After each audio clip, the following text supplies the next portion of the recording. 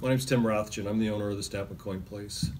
Um, the coin industry is a four billion dollar plus industry in the United States alone, excluding gold, silver, palladium, platinum, precious metals in general.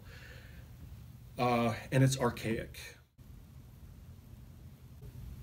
The technology that we're going to show you today is a machine that sorts coins using computer vision and machine learning and we're the first company to do this robustly.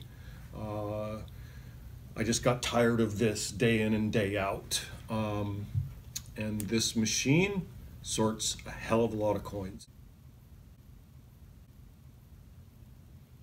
This technology does the work of 20 plus human beings every day.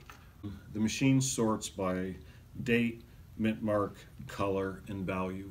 Um, I load it up at night when I go home. We mine pretty much 24 hours a day.